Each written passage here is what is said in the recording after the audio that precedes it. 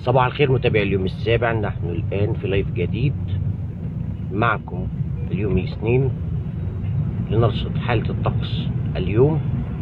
حالة الطقس اليوم الاثنين تتوقع هيئة الأرصاد الجوية أن يشهد اليوم الاثنين استمرار انخفاض الحرارة ليسود طقس بارد نهارا على القاهرة الكبرى والوجه البحري والسواحل الشمالية وشمال الصعيد.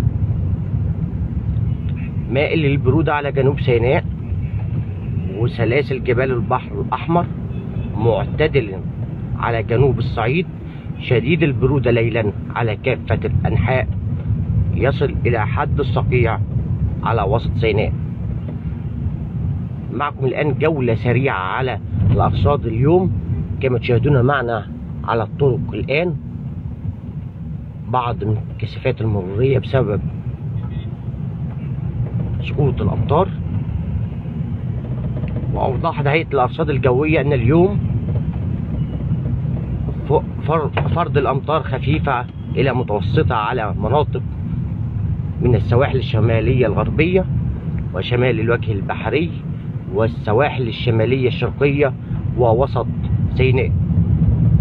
وفرص أمطار خفيفة على جنوب سيناء وسلاسل جبال البحر الأحمر وأمطار على شمال الصعيد تكون خفيفة على القاهرة.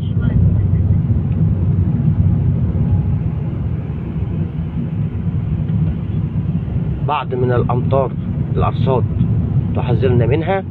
أمطار خفيفة على القاهرة الكبرى والجيزة على فترات متقطعة. أما بالنسبة لدرجات الحرارة اليوم الاثنين القاهرة العظمى 15 درجة والصغرى 10 درجات. والإسكندرية العظمى 16 والصغرى 11 درجة. ومطروح العظمى 15 درجة والصغرى 10 درجات. وسوهاج العظمى 17 درجة والصغرى 6 درجات. وأسوان العظمى 19 درجة والصغرى 7 درجات. أما عند سانت كاترين العظمى 12 درجة والصغرى درجتين.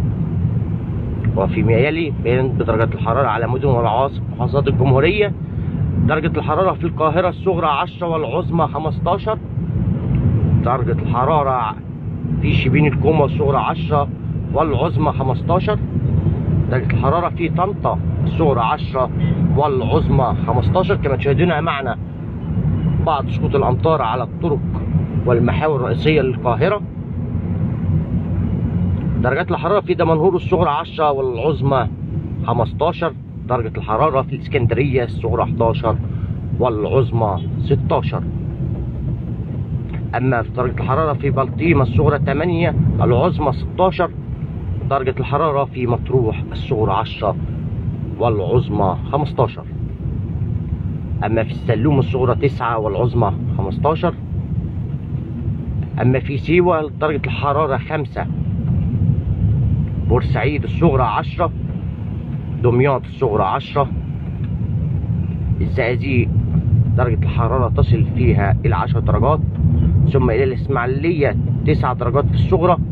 ننتقل إلى السويس درجة الحرارة الصغرى 9 والعريش الصغرى 9